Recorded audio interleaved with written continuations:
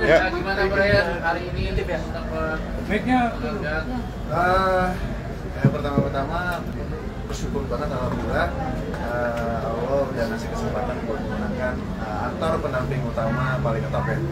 Eh, ini gua menganggap sebagai usaha gua selama ini kerja keras gua selama ini akhirnya menghasilkan eh, sesuatu gitu. Em, dan bukan cuma usaha gue juga tapi usaha teman-teman di Cinta Setelah Cinta semua all cast and crew mereka luar, bi- em, luar biasa tanpa mereka gue juga nggak bisa mendapatkan ini mungkin jadi beban kan Brian maksudnya terima penghargaan ini atau seperti apa?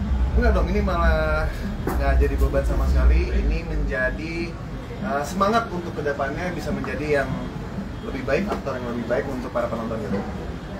Tapi Brian jadi kayak gak nyangka nggak sih dengan pesaing sangat nggak menyangka sih karena kan eh, para nomini lainnya ada Miller kan yang udah senior juga ada Lafiki teman gue juga ada Arsya ya? Rasya ada Rasya dan oh, ada semua ya?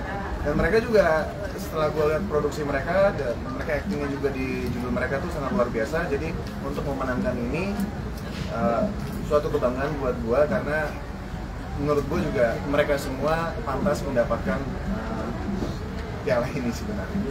Tapi Brian setelah ini ada proyek lagi nggak? Insya Allah, eh, Insya Allah tahun ini kita lagi preparation dan mulai syutingnya tuh tahun depan. Bocoran sebentar aja.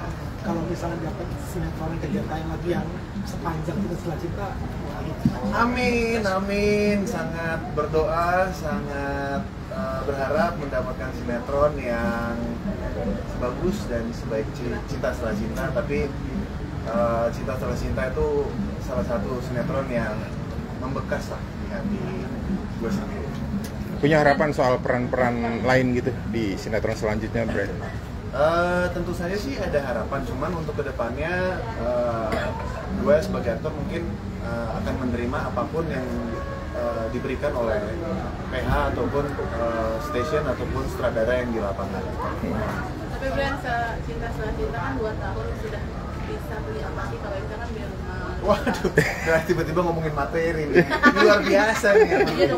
Pertanyaannya emang agak melenceng sedikit nih. Enggak lah, yang penting eh, ke depannya eh, harapan utama gue itu adalah bisa membahagiakan orang tua, istri, dan anak-anak itu.